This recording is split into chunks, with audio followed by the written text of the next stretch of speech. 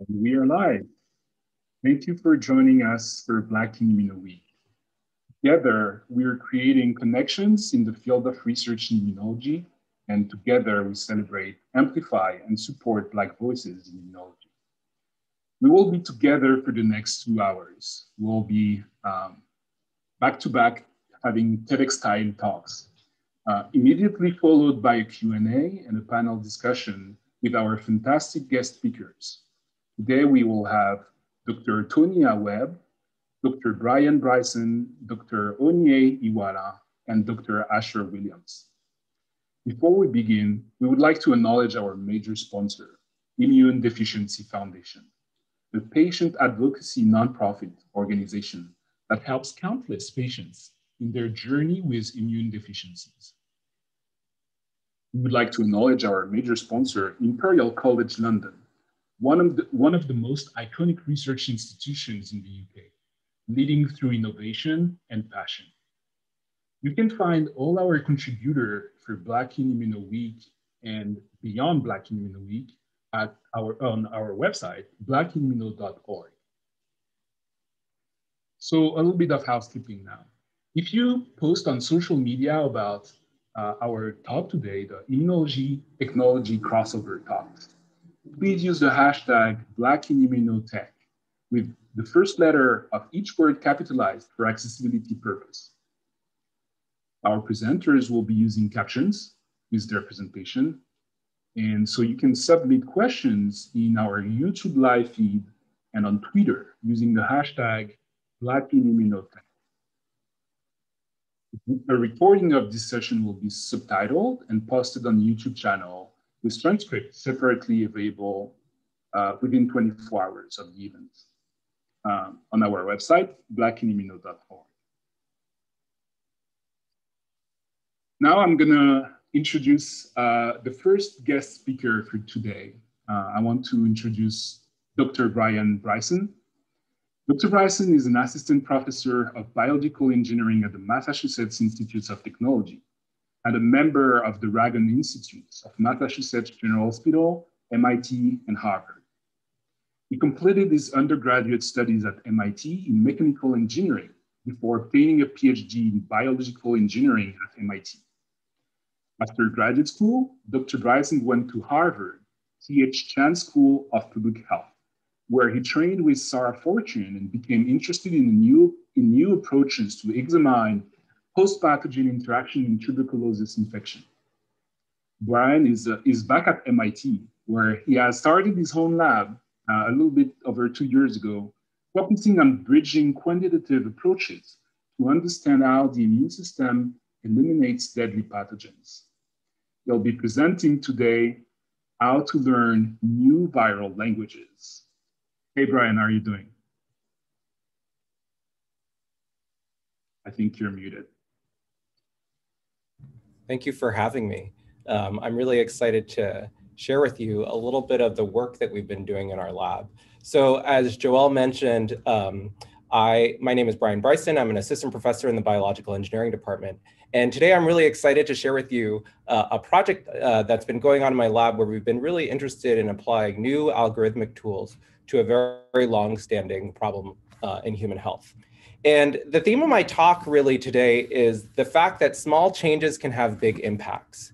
And when we think about small changes, one of the things that really uh, draws our attention as a research group is the problem of infectious diseases. And infectious diseases are clearly caused by these very small organisms. So on the here on the left, I'm showing you a schematic of a viral pathogen. And on the right, uh, these rod-shaped organisms are just an example of bacteria. And these, um, and these very small microscopic pathogens really uh, give rise to some of the most uh, pressing global health problems we experience today. So infectious diseases, I think what goes without saying, infectious diseases are a huge problem. We are living through a viral pandemic.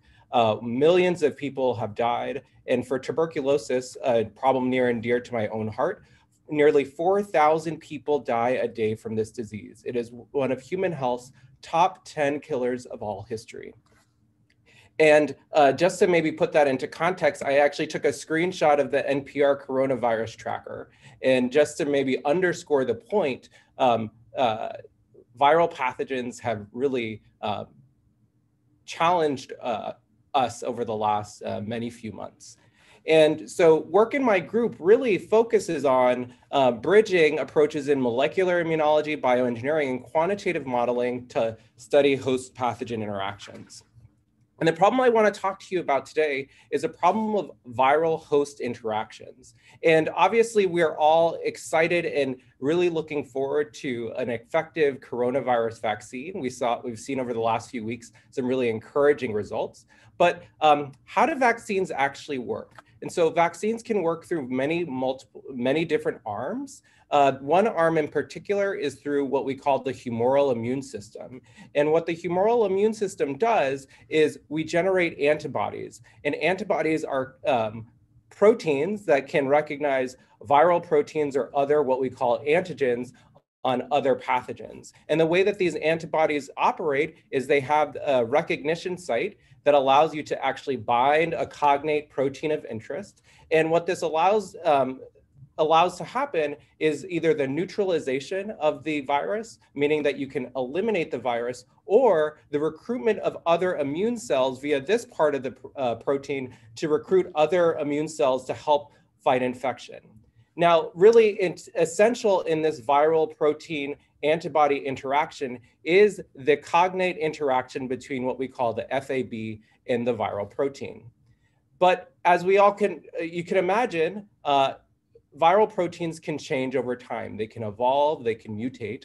And one of the things that we really like to think about when we think about antibody viral protein interaction are the range of changes that a viral protein may encounter that um, allows it to either maybe bind the antibody better or in some cases even worse. And the other thing to know about how as viral proteins mutate is sometimes a viral protein will mutate such that it actually makes the virus no longer infective or even viable. So I'm showing you a few schematics here and what you can imagine here is that maybe in this setting here on the left, you have success the, where the antibody can bind the viral protein of interest. Here, the viral protein has changed a little bit, but still you can have interaction with the virus. Um, now, um, here the viral protein has changed dramatically. And actually, let's just say that this example, the viral, the virus is non-viable. So the virus is actually no longer infectious. But now when it takes on this kind of almost rectangular shape, the virus can no longer bind to the antibody. So now this antibody is effectively uh, non ineffective at neutralizing this virus. And like many of you uh, who are thinking about visiting or connecting with your families uh, during the holidays, uh, one of the things that I realize is that a good analogy can go a long way, especially for those of us in hybrid families where some of our family members might not be scientists. And so a really good analogy that we think about is the following. And so you can imagine when we think about viral mutations where, for example, in a single amino acid on a viral protein may change, we can think about that through the lens of language. And so you can imagine we start with a sentence, the boy pats the dog. And you know, you can change one sentence, one letter of that sentence to now become the boy pets the dog. And really, pat, pat, pet, they're very similar. The sentence, the semantics has not changed. Let's imagine now the S changes to an X, and that actually doesn't make any sense. So this sentence is actually not viable. It's not even grammatical. It's not even a word. Now you can imagine that you change the sentence, the letter to E, the boy eats the dog. Now the semantics has changed dramatically, but still it is a grammatical sentence. And so this is a really great analogy. And we reasoned that what we could actually do is maybe leverage this analogy a little bit further to understand uh, the mechanics of viral evolution. And so what we drew inspiration from was a class of algorithms called natural language processing algorithms, which really provide a framework for learning the rules of a language. And what these algorithms really do is they extract patterns from large data sets. So a really pioneering graduate student in my group, Brian He, said, let's try it. Um, and so the way to think about what a natural language processing algorithm actually does is it really learns the probability of a word given its context. So you can take all of the news headlines or you can take all of the texts from you know, the encyclopedia and begin to learn a set of sentence, a, set of patterns. And then what the natural language processing algorithm actually does is it really tries to find the probability of a particular word filling in a sentence. And so you can imagine the Chinese president blinked to Japan yesterday. And you can imagine what the model might output is that there's a 50% chance that the word that should go in that blank is went. So you can imagine that we can actually learn the big from a corpus of uh, text these particular patterns using what we call the distributional uh, hypothesis of semantics. But you know, um, there's one other thing that you can imagine doing. And so I showed you this example early on about uh, viral mutation. And you can imagine you can learn what might be make a grammatical sentence, but you can similarly learn like what might actually change the meaning of a sentence significantly. And so the, the modeling approach that we propose was what we call constrained semantic change search.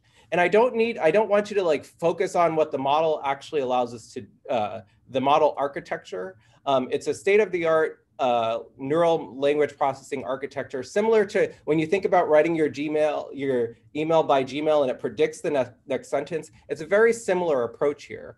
But really what we want to do are two things. We want to find both the most grammatical sentence or word that fills in the blank. But then we also want to understand, is this going to be semantically similar uh, to the original sentence are semantically different? And to show you an example of what that looks like in practice, we can start with this news headline, wine growers revel in a good season. And you can imagine we can ask the model, can you please find me the semantically closest sentence? And the semantically closest sentence that it provides is wine growers revel in strong season. So it's made a single token change or a single word change, but the meaning hasn't changed of the sentence hasn't changed. Now you can ask, let's make the most semantically different uh, change. And actually what it proposes is that wine growers revel in, a, in flu season. And so we said, okay, this is really cool. Can we actually apply this to viral sequences? So we took the amino acid sequences of the hemagglutinin protein on influenza, the flu virus, and we said, let's go ahead and train a model for the viral sequence. And what we found is uh, something really surprising. So I'll show you just one output of that model first. And so what we did is we took all of the different sequences and we said, okay, what does the model learn for its semantics? And we can quantify semantics and organize all of those sequences. And we get this like beautiful clustering on this plot. And we said, okay, but we didn't really tell the model anything about the viruses other than the sequences. We only trained on the sequence data. But then we said, okay, is there any relationship to other biological information? And really strikingly, when we looked, all of these clusters were really enriched for specific influenza subtypes. And so this was really exciting for us. And we actually took this model and said, does it tell us any other interesting biological features? But the thing we really wanted to understand is could we now use that model to understand what semantic change for a virus would represent? And so the approach that we used is we actually used our model and we said, let's take in all, um, all of the flu sequences, let's build a language model, and then take another flu sequence and say, let's make every potential amino acid mutation in the computer and make a library of new viruses, and then ask how the model quantifies what we call semantic change for that virus. So we can make all these mutants in silico, but really we want to understand is, do these mutations actually change the, back, the virus's fitness? And so the, to be able to test that question, we actually were able to utilize data from a group at the Fred Hutch Institute where they actually made every virus, made every mutant virus, and then passaged these viruses in the presence of antibodies that we that should neutralize. But now if the antibody um, uh, antigen interaction has been mutated because the viral protein has been mutated, now the, ant uh, the antibody will no longer be effective and that virus will survive. And you can actually identify the surviving viruses and say, what are the mutations that actually allow the virus to survive in light of uh, these new mutations? And really strikingly, we said, okay, let's see what our model predicts. And so what we did is we said, let's go ahead and quantify all of our different amino acid mutations and say, what are the mutations that are still grammatical, but give rise to high semantic change? And so what I'm showing you here is an output of that model, but I really just want you to pay attention to the X and Y axis. So on the Y axis is semantic change. On the x-axis is high grammaticality. And if we look for those mutations that actually give rise to high grammaticality and high semantic change, we see that they've got a lot of red X's. And what are these red X's? These are actually experimentally identified mutations to the amino acid of HA that actually allow the virus to escape antibodies. So what our model is able to do is our model is able to predict how antibodies uh, become ineffective at neutralizing virus by just using our sequence model alone. So again, we just trained on sequence. So this was really uh, exciting for us, but then we could actually go back and ask about the structure of these proteins because the structures are known and ask, is there anything interesting that our model was able to learn?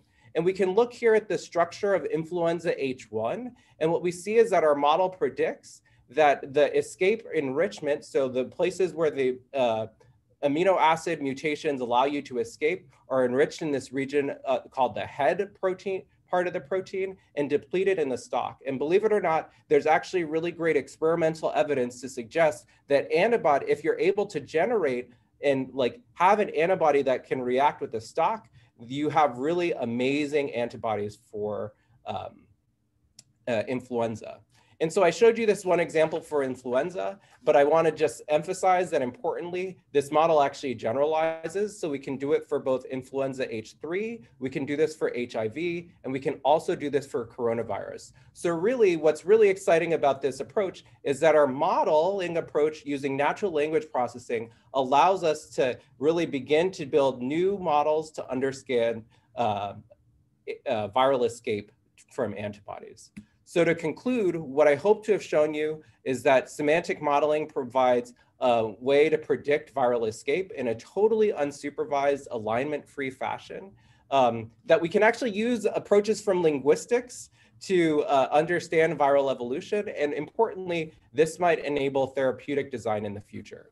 So with that, I just really want to acknowledge the superheroes behind the work. So much of this work, all of this work, 95% um, of this work was done by a superhero graduate student, Brian He, um, in collaboration with my amazing, amazing uh, collaborator in the math and computer science department, Bonnie Berger. And if you're interested in the code, it's all publicly available. And so thank you for your time. And I'm, uh, again, uh, deeply grateful for the invitation to present today. Thank you. Thank you, Brian, for this fantastic talk. Um, if you have questions for Brian, please submit the questions in either uh, the YouTube chat or into the Q&A that we've sent in the chat. We're going to switch now, and it is my pleasure to introduce now Onye Iwala. Dr. Iwala is an allergy and immunology physician scientist and an assistant professor in the Department of Medicine, Division of Rheumatology, Allergy, and Immunology at the University of North Carolina, Chapel Hill. Dr. Iwala received her PhD in experimental pathology from Harvard University and her medical degree from Harvard Medical School. She completed a residency in internal medicine at Massachusetts General Hospital and a clinical and research fellowship in allergy and immunology at UNC Chapel Hill. As part of the UNC Food Allergy Initiative, she studies the immunologic mechanism behind alpha-gal mammalian meat allergy. She'll be presenting today alpha-gal syndrome, the food allergy disruptor. Take it away, Asher. Uh, so, Thank you very much. Good morning, everyone. Um, as you heard, my name is Onye Iwala. I'm an assistant professor at UNC and part of the UNC Food Allergy Initiative. And it's truly a pleasure to have been invited to participate in Black in Immunology Week. Thank you so much to the organizers and thank you for a fantastic session so far. All right. So I hope that by the end of this talk, you guys will agree with me that alpha-gal syndrome is truly a food allergy disruptor. Before we jump in, I'd like to acknowledge the support that I've received from the NIH, as well as the American Academy of Allergy, Asthma, and Immunology Foundation, and my own Thurston Arthritis Research Center. So what is alpha-gal syndrome or alpha-gal allergy? And you'll hear me use those two terms interchangeably throughout the talk. Well, to help you guys understand, let me tell you a story, or as my Nigerian relatives would say, story, story, story. So this is the story of a 71 year old woman. She's an avid gardener and hiker, and she eats a burger for dinner. She wakes up in the middle of the night, six hours after dinner, with itching, hives, and difficulty breathing. She ends up fainting, and her family has to call emergency medical services. And she eventually requires treatment with epinephrine or adrenaline by injection. But the story's not over. The next day, she eats a small amount of lean ham in a sandwich and has no issues. But three weeks after that, she eats grilled pork chops with beer at a lunch barbecue and develops itchy hives and belly pain by bedtime that improve with Benadryl, which is a kind of antihistamine. So after that, she carries Benadryl and her epinephrine autoinjector on her person at all times. And she eventually cuts mammalian meat out of her diet. So this is alpha-gal syndrome. And if you were to draw the blood from this woman, you would find IgE antibodies against a sugar called galactose alpha 1,3 galactose circulating in her bloodstream. Now let's take a step back and review what Dr. Bryson had talked to, to us about earlier. What are antibodies? So these antibodies are immunoglobulins, are specialized proteins that are produced by our immune cells and that can protect us from dangerous invaders. And they come in different flavors. So that's represented here by these different ice cream cones, IgM, IgG, IgA. They can neutralize viruses, as we just heard. They can tag or coat bacteria and other microbes and mark them for destruction as well. But I'm particularly interested in IgE.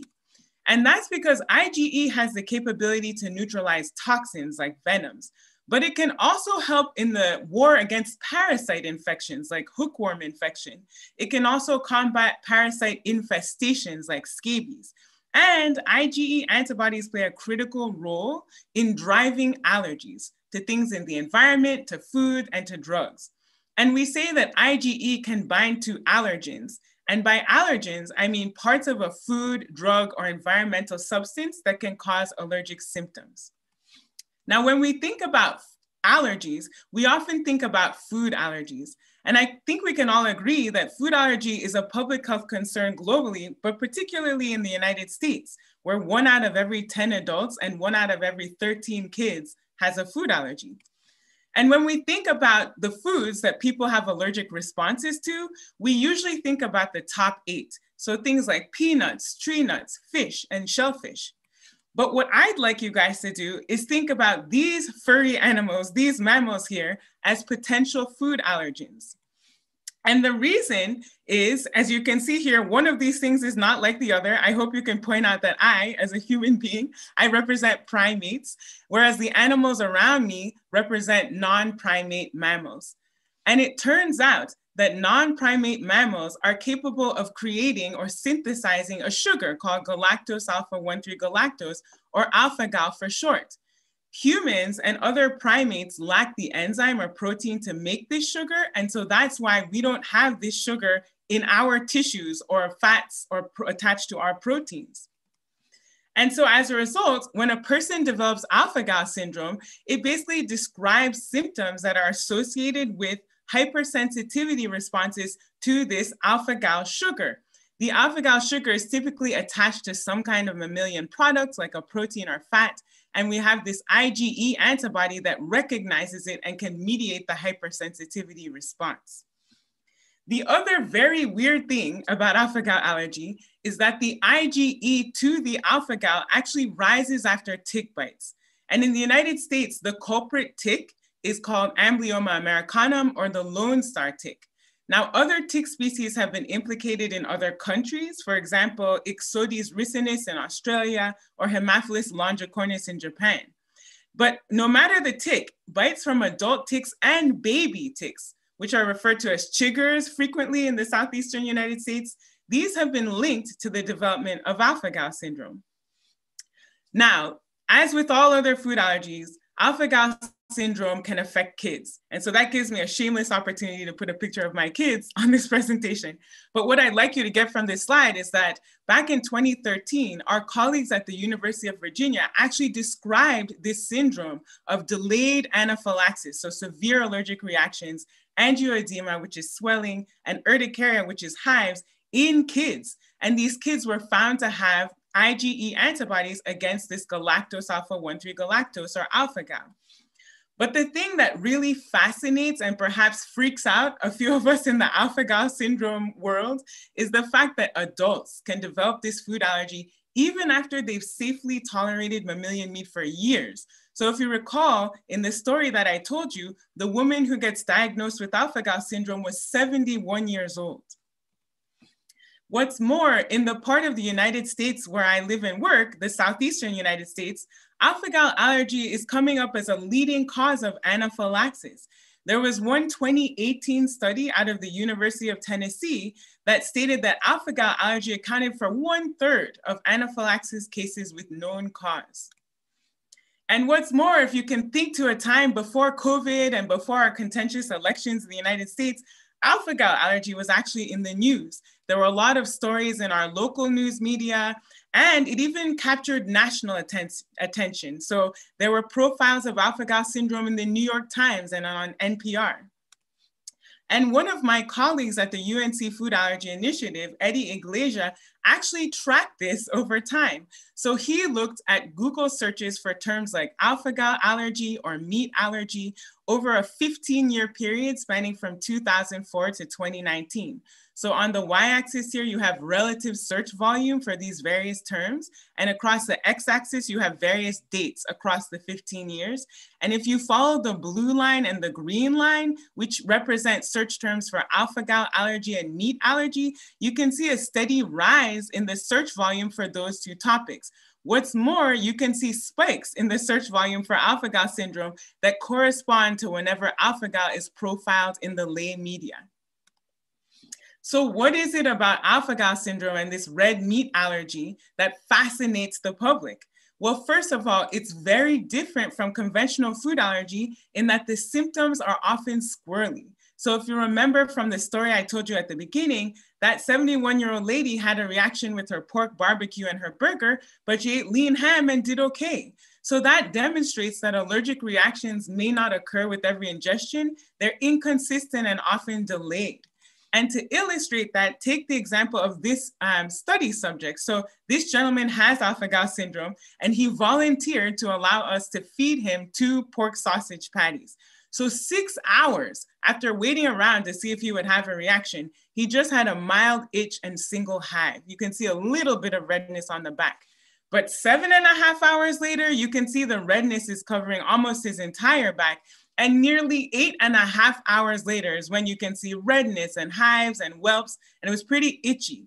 Thankfully, his symptoms improved with taking antihistamines, but he's a prime example of just how long it can take for an alpha gal allergic person to develop symptoms after they've eaten the meat. The other point to make about red meat allergy and alpha-gal syndrome is that the magnitude and the severity of the allergic response depends on what we refer to as cofactors, things like exercise and alcohol. So somebody can eat a burger and then play basketball with their kids, and if they've got alpha-gal syndrome, they are more likely to have an allergic reaction. Or if they have wine with their steak or beer with their barbecue, and they have alpha-gal syndrome, they're more likely to have an allergic reaction. So the state of the immune system and also the, dose and form of alpha-gal can also impact the magnitude and severity of the allergic response. And what we've observed is that fatty mammalian products are frequently linked to these delayed allergic reactions. So now, when an allergist or immunologist is interested in studying or approaching food allergy, we typically break it down into two phases. The first phase is the sensitization phase. And during this phase, you have your first exposure to the food allergen, and that's what drives the initial production of IgE. The second phase is referred to as the effector phase. That's when the person is exposed once again to the allergen. And this is the point at which inflammatory chemicals that drive allergic symptoms in food allergy are released. So during the sensitization phase, you've got this food allergen, which has to cross some sort of barrier, what we call an epithelial barrier or mucosal lining, and that's typically the gut. Then it gets taken up by these specialized immune cells called antigen presenting cells. A dendritic cell is one kind, a B cell is another kind. They take up the allergen, they process it, and then they present it to another subset of immune cells called T cells. These T cells are capable of producing chemicals like IL-4. And IL-4 can influence these B cells to become IgE factories. So they make tons and tons of this allergen specific IgE that then distributes across the person's body and attaches to the person's allergy effector cells. So things like mast cells and basophils. And once this IgE is attached to the mast cells and basophils, we say that the person is sensitized to the allergen. In the effector phase, that person is then re-exposed to the allergen. So they eat the allergen, but this time the allergen binds to the IgE that's already attached to the mast cells and basophils. It brings the IgEs together in a process called cross-linking, and that activates the mast cell to produce a lot of inflammatory chemicals like histamine, which can cause a lot of the symptoms we associate with allergy, like hives or itching or flushing, belly pain, and vomiting. So what do we know about the sensitization phase in alpha-gal allergy? And what do ticks really have to do with this? Well, to begin with, I'll um, want to let you guys know that our colleagues at UVA actually observed a significant overlap in the distribution of known alpha-gal cases in the United States and areas with high incidence of a tick-borne condition called ehrlichiosis. So you can see the concentration primarily in the Southeastern United States. They saw a similar overlap with another tick-borne illness called Rocky Mountain spotted fever. And so what did ehrlichiosis and Rocky Mountain spotted fever have in common? The microbes that cause those conditions are carried and transmitted by Lone Star ticks. And if you look at a map of the geographic distribution of this Lone Star tick or Amblyomma americanum in the United States, this is a CDC map taken from in 2010, and it shows the distribution of the Lone Star tick primarily confined to the Southeastern United States. But by 2019, this same map shows the distribution of this tick spreading to the plain states and even to Southern New England. And if you juxtapose this map with another map, some crowdsourced data from zmaps.com, where people who have alpha-gal allergy can put a pinpoint for themselves anywhere in the world, you can see that the geographic distribution of the Lone Star tick mirrors the geographic distribution of alpha-gal allergy cases, and it's growing. Um, what's more, if you take a person who has been bitten by larval Lone Star ticks, as we did here, and you look at their total IgE levels as well as their alpha-gal specific IgE levels shown down here in red, you can see jumps in both of those levels shortly after they get bitten by these ticks. And on top of that, the alpha-gal sugar is actually detectable in ticks um, that are associated with alpha-gal syndrome, including this amblyomma americanum or the Lone Star tick, where alpha-gal was detected in the saliva and salivary glands of that tick.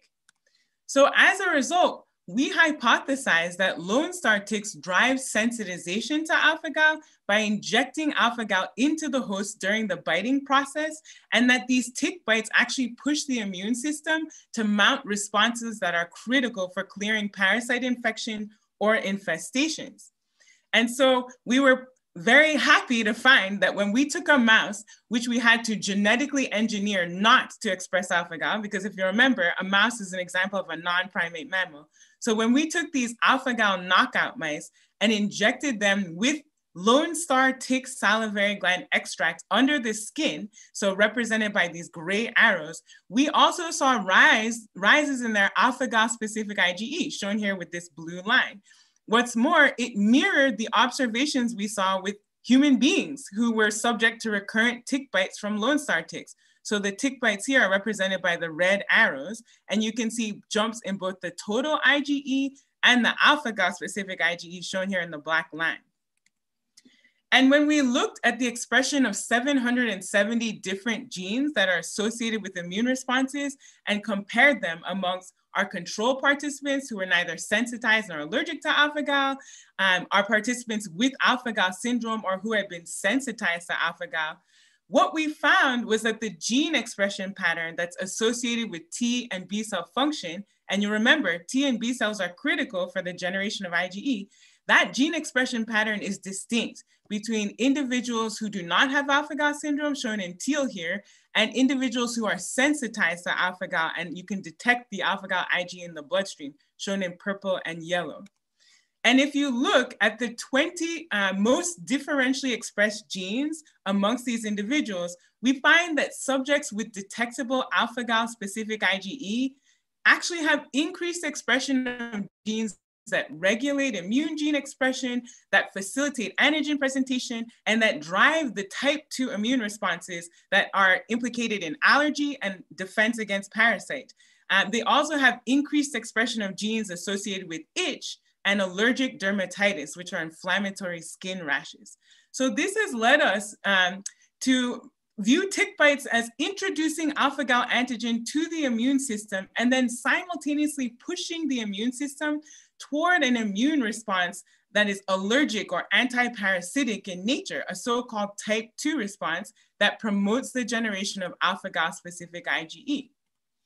Now, what do we know about the effector phase in alpha-gal allergy? If you'll remember, I had mentioned at the outset that the consumption of fatty mammalian products is frequently linked to delayed allergic reactions. And so we hypothesized that the alpha-gal sugar in animal fats, so in other words, glycolipid, as well as in animal protein or glycoprotein, could attach to these alpha-gal IgEs on allergy effector cells, these mast cells and basophils, and activate them. And so in order to address this hypothesis, we actually took white blood cells from a healthy donor who did not have alpha-gal syndrome, stripped off the native IgE from these cells, and then sensitized those cells with plasma from people who did have alpha-gal syndrome. So there was alpha-gal specific IgE floating around, and then stimulated those sensitized basophils with alpha-gal in a fat form, glycolipid, or in a protein form, glycoprotein. We then harvested the cells and then stained them specifically for basophils and for the expression of an activation marker. And we looked for this using flow cytometry.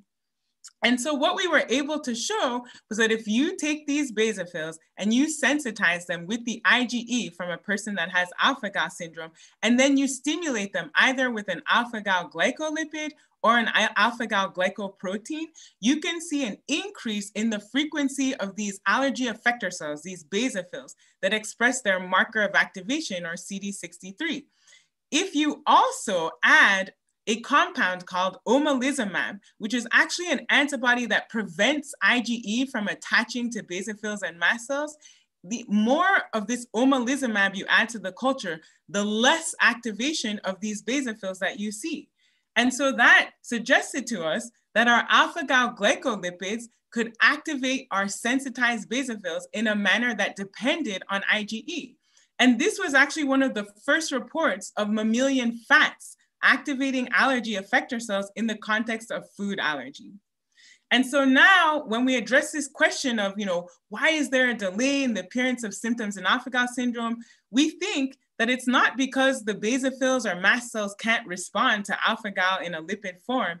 We think that it's due to um, maybe it's reflecting the hours that are required for the absorption of these fats, for the breakdown and metabolism, and then packaging of these fats before they actually get delivered to the mast cells and the basophils. So with that, I hope you guys agree with me that alpha-gal allergy really changes our current paradigm for food allergy. The effector phase, you know, the symptom onset is so delayed, it can be hours. The IgE is forming against a sugar instead of a protein. And for people to become sensitized to alpha-gal, they need to have been bitten by a tick. And so I hope you guys will take away that alpha-gal syndrome is an allergic condition with a global reach and the case numbers and geographic reach of the ticks that cause alpha-gal sensitization are growing. So we need to improve our understanding of the immunology and the pathobiology behind the syndrome because I would argue that understanding alpha-gal syndrome will truly broaden our understanding of food allergy. So with that, I'd like to acknowledge all our collaborators at UNC in the Cummings Lab, the UNC Food Allergy Initiative, and of course our UNC Alpha-Gal study subjects. And I'd just like to end with this picture of my lab. This is how we've been doing lab meetings, of course, for the last few months. And I'm really grateful to be able to work with such a fantastic team. And I'll be happy to take your questions during the panel. Thank you. Thank you so much, Onyie, for this amazing presentation on alpha-gal syndrome. It is another example of how human-driven modifications of our environment triggers the development of emerging diseases. If you have questions for Onyie, um, I encourage you to uh, submit questions uh, for later on the Q&A discussion. I will now, now welcome Dr. Tonya Webb. Dr. Webb is an associate professor at the Department of Microbiology and Immunology at the University of Maryland School of Medicine. He completed a doctoral degree in microbiology and immunology at Indiana University with studies focused on investigating the role of CD1D1 molecules and invariant natural killer T cells in antiviral immunity. Her postgraduate work includes postdoctoral fellowships at Indiana University School of Medicine and Johns Hopkins School of Medicine. At UMSOM, Dr. Webb has leadership role in microbiology and immunology department at the Greenbaum Comprehensive Cancer Center and the Center for Stem Cell Biology and Regenerative Medicine. She founded the biotech company WebCures in 2016 and advocates to increase diversity and equity in academic medicine and healthcare.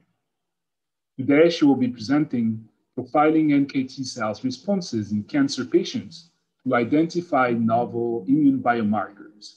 Thank you for joining us today, Tonya. The floor is yours.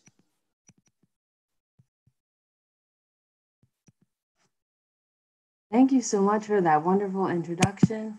I'm so happy to have the chance to share with you some of our work. And again, my name is Tanya Webb. I'm an associate professor at the University of Maryland School of Medicine, and I'll talk to you about some of the work that we're doing to understand natural killer T cell biology and their role in cancer. So first I have to disclose, as was mentioned, that um, I founded a small biotech, WebCures, and I also work with Screen Therapeutics and Immune 3D. So first, I would like to acknowledge the people in my lab who've done the work. Um, so these are some pictures of uh, my lab over the last few years, and I would like to highlight, again, as you know, that successful people never reach their goals alone. So I would not have been able to accomplish this work without the outstanding um, support and work ethic by my team. So what's near and dear to my heart? Cancer immunotherapy. So I quickly want to highlight um, the role of cancer immunotherapy in current cancer treatment. And so as I show you these titles here or these covers um, from Science and Nature, cancer immunotherapy has been heralded as the breakthrough of the year several times. So this first issue was from the December 2013 issue of Science, but the 2018 uh, December issue also looked at further developments in cancer immunotherapy. And then the one at the bottom is talking about uh, cancer immunotherapy as being the greatest thing since sliced bread. So I just included it because someone else said it. But if we look at this cover of Time, it says, What if your immune system could be taught to kill cancer? And so if we look at that a little bit more closely, it says inside the brutally selective, and that's because cancer immunotherapy works in 20 to 40% of patients hugely expensive, and that's because it can cost thirty to fifty thousand dollars per cycle per treatment, and you can need three to five cycles. So it can be extremely expensive. But what we want to focus on are the life-saving trials of immunotherapy. And so, in sticking with that, while immunotherapy has been one of the greatest breakthroughs of our time, the questions that we really want to address and focus on is how do we develop better treatments right, that are cost effective and more effective? And then how do we select which patients are the best candidates for this therapy? And so the work that I'll quickly share with you today is trying to address those two questions. So how did I get on this path? So in my graduate studies, I worked on um, natural killer T cells or NKT cells in uh, antiviral immune responses. And then later I transitioned into cancer. So I really wanted to bring NKT cells back into the work that I was doing focused on cancer immunotherapy. And then um, what is your motivation? So I always like to talk to the people in my lab and encourage them to focus on the work that really drives them. And so the work that drives me is to increase the number of hugs as shown below. so again, why do we focus on NKT cells? And that's because we believe they play an important role in anti-tumor immune responses. Because if you look in the center, we have NKT cells and they can directly kill cancer cells or tumor cells as shown below. But not only do they directly kill cancer cells, they can also modulate the effector functions of other immune cells. So they can enhance uh, the maturation of dendritic cells. They produce cytokines or proteins that can modulate or activate uh, cytotoxic T lymphocytes or CD8 T cells, as well as natural killer cells. So NKT cells can enhance both the innate and adaptive or early and later stages of the immune system. And so that's why we believe they play a really uh, key role in anti-tumor immune responses. So again, they can directly mediate their effector functions and they can also serve as activators of other immune cells. So if we take a step closer and look more closely at NKT cells, while they can play this critical role, they are often reduced in cancer patients. So when I first started my lab, I wanted to see in my hands in my lab if we observed the same phenomena, meaning that there was a reduction in NKT cells in cancer patients. So we looked in healthy volunteers and compared them to newly diagnosed cancer patients. So we looked in lymphoma patients, breast cancer patients, and prostate cancer patients. And what I think you can appreciate is that across the board, NKT cells circulating in the blood, as indicated on the y axis, are reduced compared to healthy donors and different cancer types. And so, work by our lab and others have shown that NKT cell number and function can be reduced in cancer patients, and this can be independent of tumor type or load. And studies from other groups have uh, worked to modulate NKT cells in clinical trials but it only worked in patients that had functional NKT cells. And that makes sense, right? If you don't have NKT cells, how can they serve to help when you activate them in cancer patients, right? So, our overarching hypothesis is that NKT cells play a critical role in anti tumor immune responses. Thus, their, their restoration will enhance current immunotherapeutic strategies. So that's what we're focused on. We want to understand why NKT cells are reduced and then develop platforms that can work to restore their number and function. So first we did some proof of principle experiments and we generated a bead that could serve to activate NKT cells. So we have a magnetic bead here and we put on proteins, um, anti-CD28 an antibody, and then a fusion protein that has an antibody base that would also activate NKT cells. So this provides two signals that would be needed again to activate NKT cells. And we call these artificial antigen presenting cells. So similar to the work that was talked about by Dr. Uh, Wella and um, Dr. Bryson, where they talked about antibodies and activating the immune system. That's what we want to do here. But in this case, we're using these uh, proteins and our magnetic beads as a scaffold or something to hold these proteins so that we can activate NKT cells.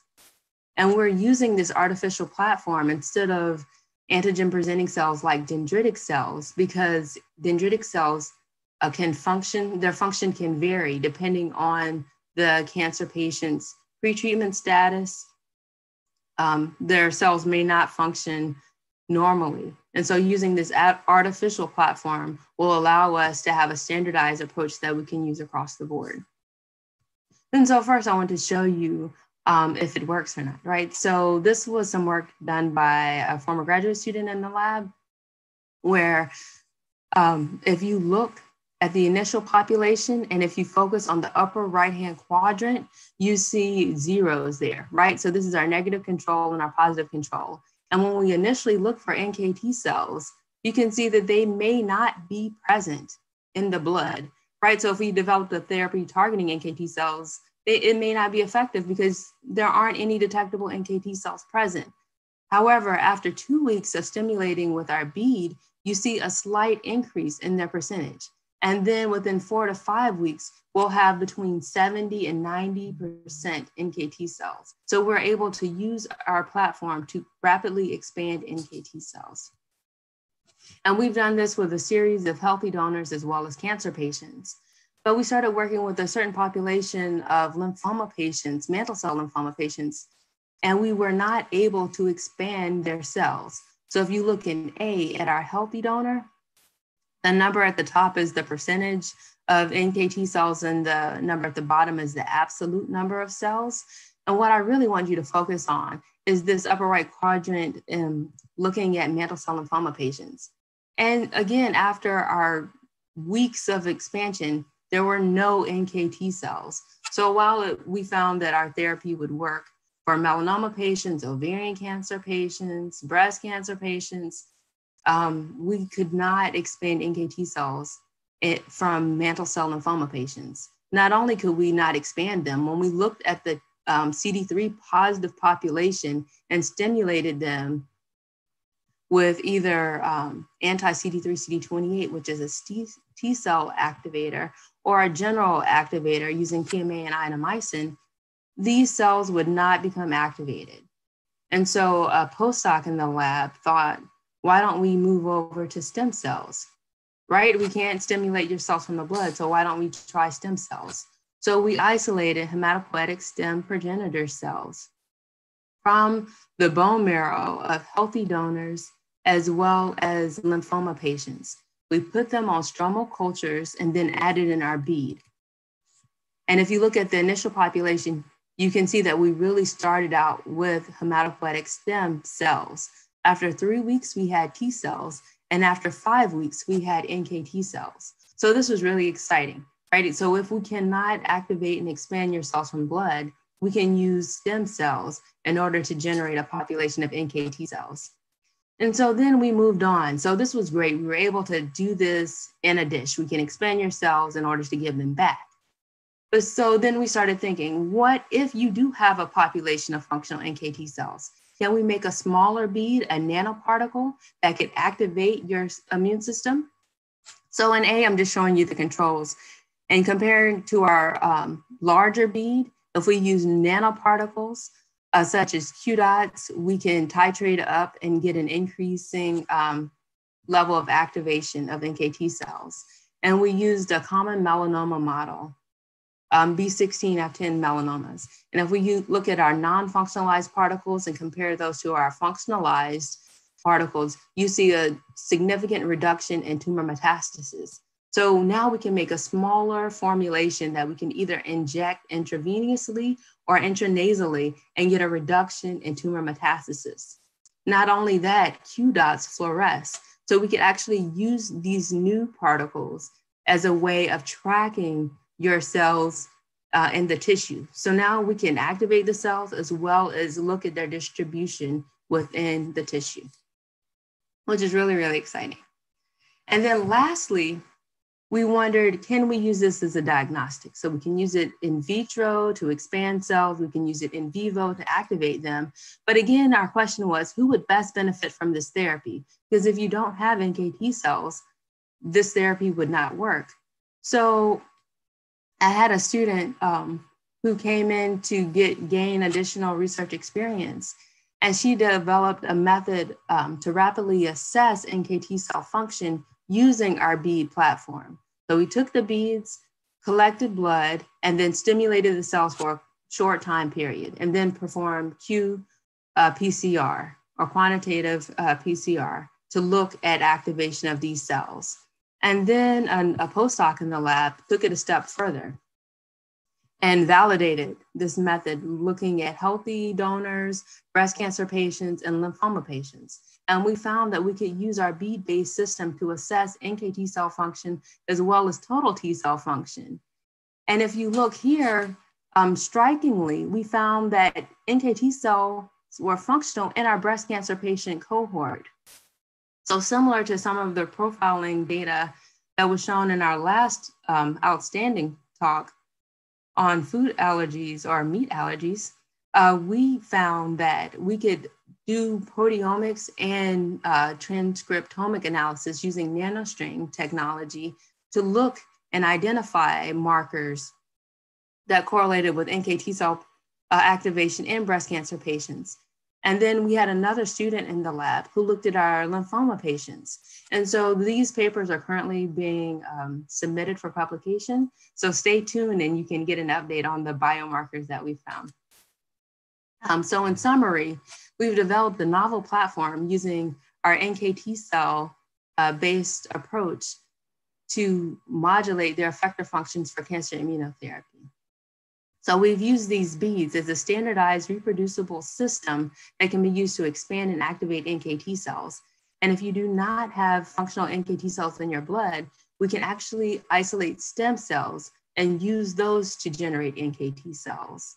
Not only that, we've developed an in vivo method where we can use a nanoparticle based formulation uh, to activate your NKT cells in vivo. And we've also developed a diagnostic tool to assess baseline NKT cell function in patients. So where are we going with this? So a recent graduate student developed a proliferation assay. So now we have a platform to modulate and activate NKT cells. And now we want to really understand what factors are important for their development, their development, excuse me, and function in order to improve their implementation in cancer immunotherapy. And so this work was recently published. And so lastly, I would like to acknowledge again my current lab members as well as my previous lab members, my outstanding collaborators, both uh, locally and abroad, as well as the grant support that has helped us to be able to do this work. And I would be happy to take any questions that you may have during the panel discussion. Thank you so much. Thank you, Tonya, for this amazing presentation on harnessing NKT cells in cancer immunotherapy. We again, we again encourage our audience to submit questions later for um, the Q&A. It is now my pleasure to introduce our last speaker for uh, the Science Talk session, Dr. Asher Williams. Dr. Williams is a Trinidad and Tobago National Scholar who earned her, her Bachelor's of Science in chemical and biomolecular engineering at New York University. She worked as a bioengineering intern at NASA before pursuing a PhD in chemical engineering at Rensselaer Polytechnic Institute. Her graduate work focused on harnessing bacterial production systems to generate pain-relieving compounds and anticoagulant drugs through metabolic engineering. She was awarded the RPI Presidential Graduate Research Fellowship and published over 10 co-authored papers in peer-reviewed journals during her PhD. Dr. Williams uh, also served as vice president of the Black Graduate Student Association at RPI and worked on several initiatives and efforts to increase the recruitment and retention of minoritized students in graduate education. She is currently a presidential postdoctoral research fellow at Cornell University, where her research aimed at developing a platform for cell-free biosynthesis of conjugate vaccines against enteric infections. Today, she will be presenting cell-free biosynthesis of conjugate vaccine. Thank you so much for joining us, and the floor is yours.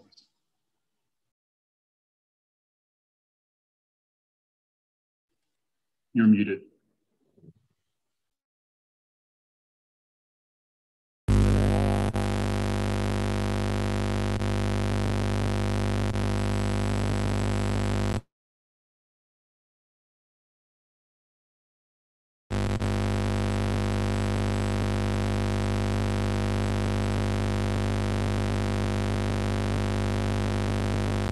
Can you, yeah, can you try to unplug your headset? Maybe that's that's where the problem is coming from.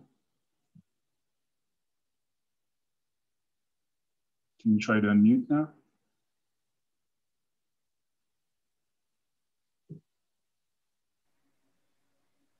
That's better. Okay. Okay, thank you for the introduction, Joel. Um, so I'm a chemical engineer by training. So I'm really excited to be invited to be a part of Black in uh, Immuno Week.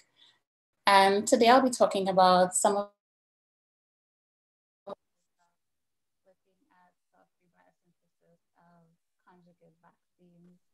I think we lost the sound. Oh. Oh, I can hear you, but actually very faint, I think. Yeah, it says my audio is connected. Sorry about that. Okay, yeah, we can hear you. Maybe, um, yeah. Okay. That sounds, is that's it, is it okay now? Yeah. Okay, yeah. So as I was saying, um, I've been working on cell-free biosynthesis of conjugate vaccines, in particular against uh, bacterial enteric infections, which cause uh, diarrhea and dysentery. So acute diarrheal diseases rank second amongst all infectious diseases as a killer of children below the age of five years worldwide.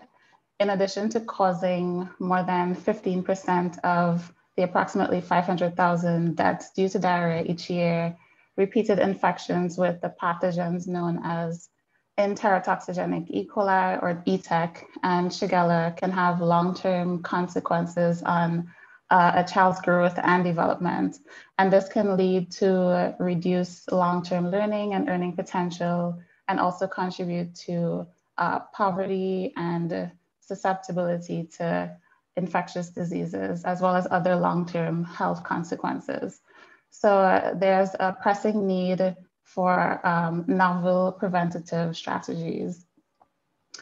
In 2015, there were approximately 2.4 billion cases of these infections globally, with an average of two to three episodes per child each year. Uh, between the years of 2000 and 2015, the number of childhood deaths actually decreased from 1.2 million to 500,000.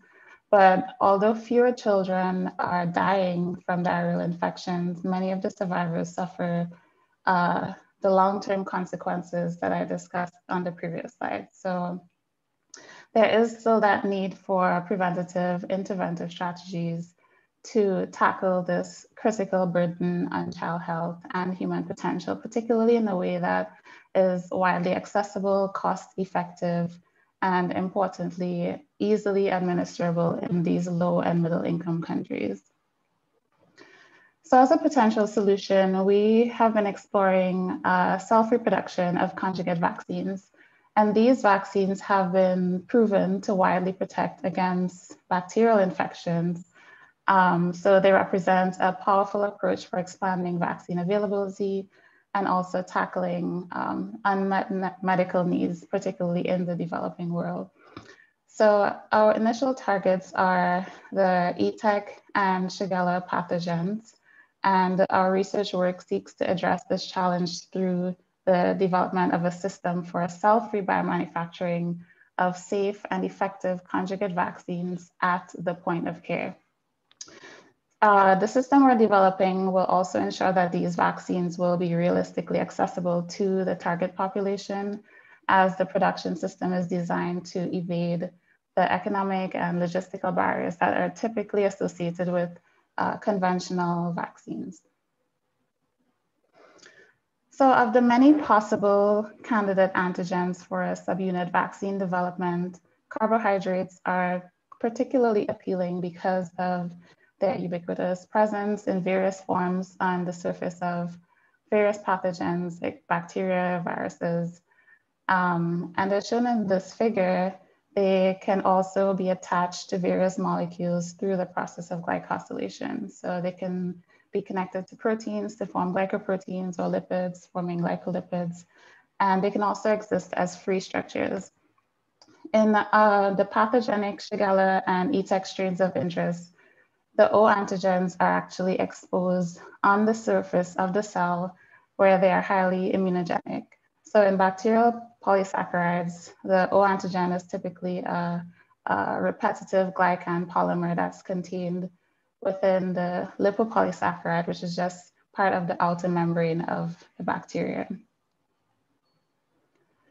To provide some context for conjugate vaccines, uh, when cell-free uh, or when free capsular polysaccharides and lipopolysaccharide antigens are administered as vaccines, they typically stimulate T cell independent immune responses which are characterized by short duration antibody responses.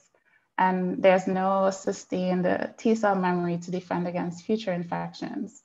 So um, these free polysaccharides generate immunoglobulin M or IgM antibodies, which are generally produced as the body's first response to a new infection or exposure to an antigen.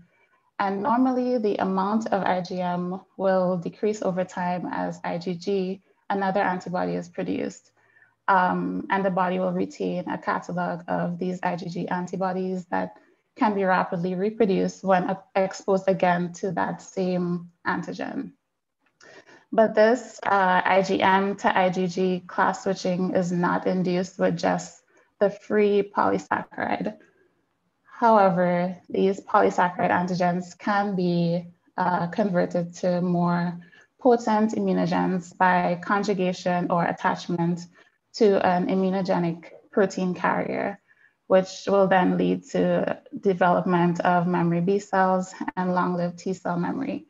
Uh, so essentially, these conjugate vaccines have been developed to induce a robust immune response against bacterial capsular polysaccharides and provide that long-lasting immunity. So although conjugate vaccines are a highly effective and safe strategy for protecting against um, diverse pathogens, conventional methods for their production have several limitations uh, most notably, the traditional method of chemical conjugation illustrated here is a complex multi-step process that involves isolation, uh, chemical activation, um, and also uh, chemical conjugation of the bacterial polysaccharide to a separately produced and purified carrier protein. So in addition to being a time consuming and expensive process, it is also low yielding due to considerable losses occurring at each step, uh, and the product is often heterologous. So with the genesis of bacterial glycoengineering, the multi-step chemical conjugation procedure that I previously described has been widely replaced by a single fermentation where engineered E. coli cells will transfer the capsular polysaccharide or O antigen to a specific acceptor sequence on a carrier protein. And then the conjugation is catalyzed by an enzyme called PGLB. Um, however, this protein glycan coupling technology also has with it limitations because it relies on living cells. So it needs, you know, highly centralized manufacturing. It requires specialized equipment as well as cold chain distribution. And these factors, of course, present economic and logistical barriers that limit the reach of vaccination campaigns. And they can also slow the response to any pathogen outbreaks. So to circumvent some of these challenges, we have been exploring producing glycoproteins using uh, cell-free protein synthesis or CFPS.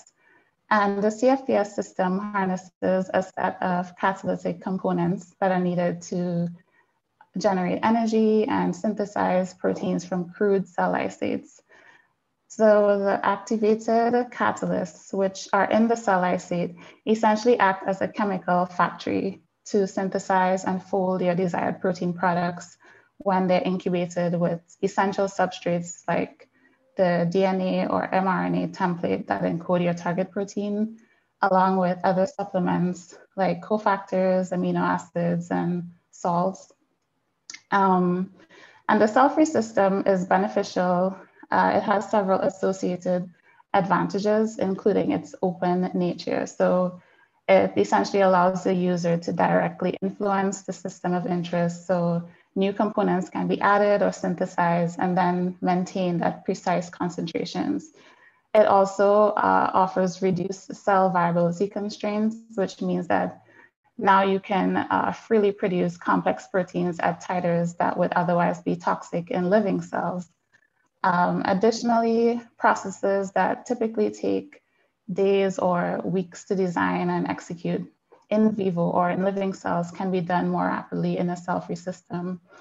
And another important point for our purposes is that CFPS reactions can be freeze dried for storage at ambient temperature for up to one year. So this cell-free technology was adapted to provide a, a rapid way of developing and distributing vaccines against bacterial pathogens. Essentially, the system involves expression of pathogen-specific polysaccharides, so capsule polysaccharides or O antigens that are specific to uh, the ETEC and Shigella pathogens, uh, along with the PGLB enzyme or another bacterial oligosaccharyltransferase. And these are expressed in engineered non-pathogenic E. coli with detoxified lysates that contain essentially all of the machinery required to synthesize the bioconjugate vaccines. And these reactions can be used to produce bioconjugates containing the licensed carrier proteins, then freeze dried without losing activity for uh, refrigeration-free transportation and storage, which is, which is important in these resource-limited regions. Then the freeze-dried reactions can be activated at the point of care. Um, so to demonstrate um, Yeah.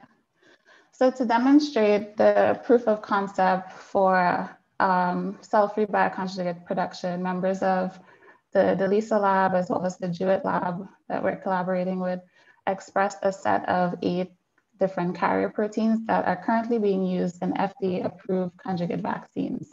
And these were expressed in vitro or outside of the cell in soluble conformations where we they're able to bypass many of the common challenges that are associated with expressing you know, these proteins as full-length products in living E. coli cells.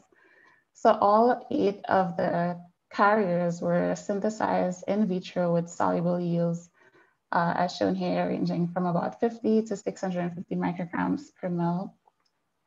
And these CFPS approaches have been shown um, to have great promise for expressing these difficult to express proteins because of that open nature of the reaction, which allows you to easily manipulate and improve production of more complex protein targets.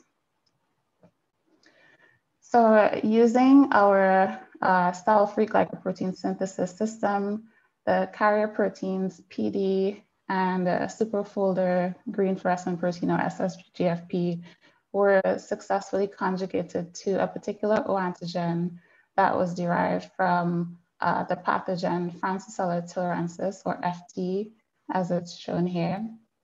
And the results of fluorescent Western blotting are shown where the antigen antibody complex is used to detect specific proteins that are immobilized on a, a blotting membrane after separation.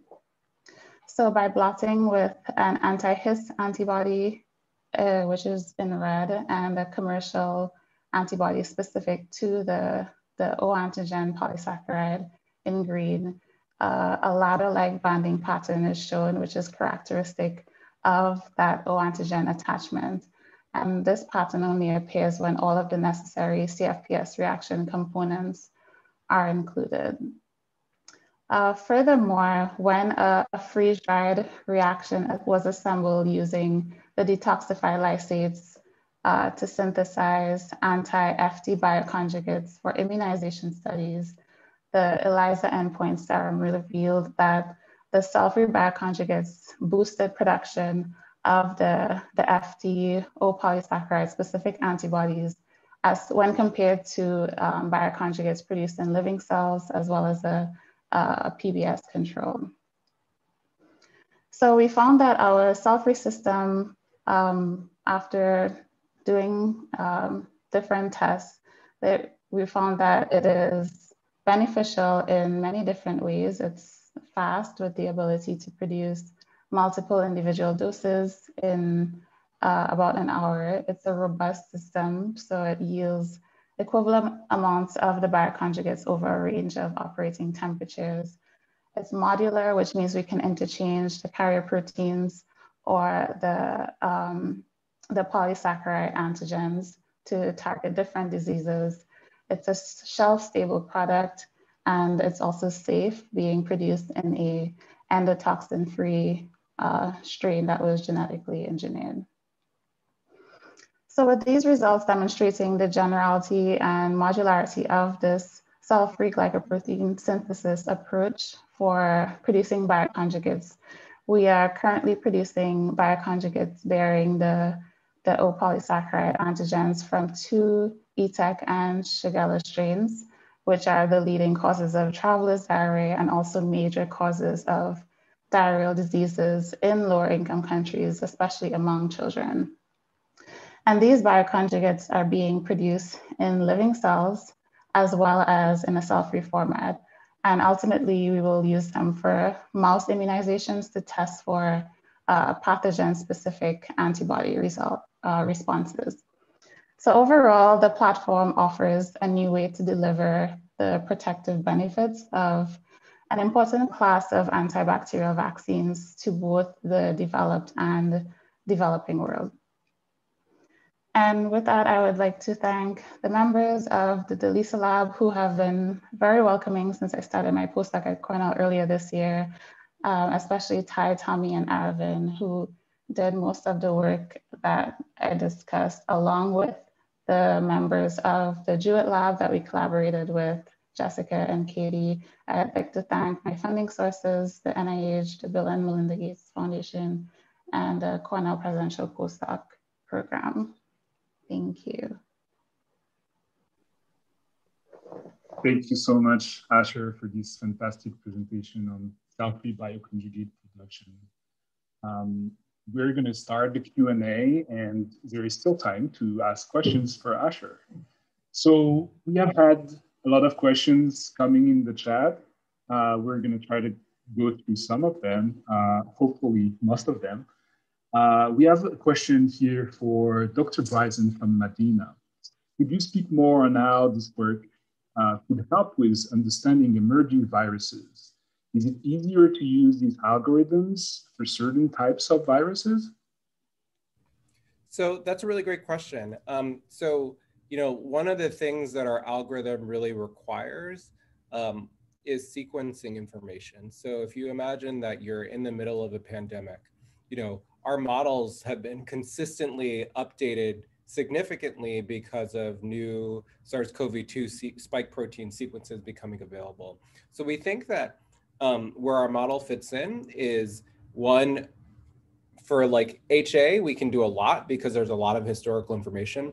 But we think that what we would hope is that during an emergent virus, uh, that we can like deploy our algorithm immediately, start receiving all of the sequencing data that's coming in and build the model in real time with the data that's becoming available. So that's our worldview because maybe that will also help us kind of identify what that language is for whatever the next pandemic uh, uh, is. And then we can actually maybe think about utilizing that to guide immunogen design. So we think that it's going to be a partner tool kind of in real time um, as viral sequences are becoming available. Another related question is, um, could you speak on if and how your technology can be used to predict if the potential virus can potentially jump from animal into human?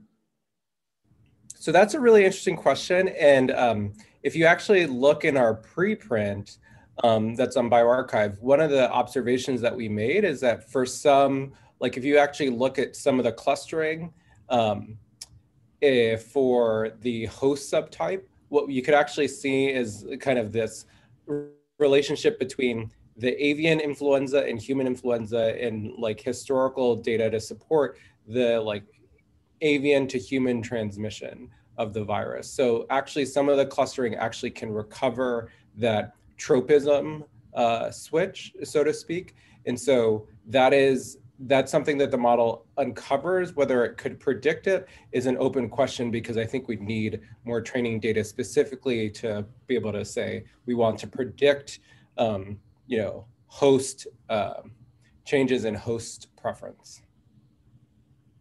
That's interesting.